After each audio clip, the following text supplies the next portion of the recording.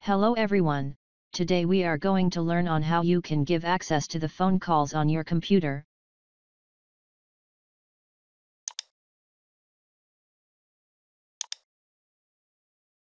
Then go to privacy.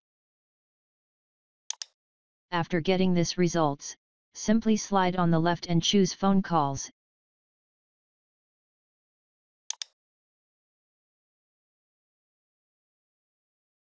As you can see permission to access phone calls is turned off, so click on change, then turn it on.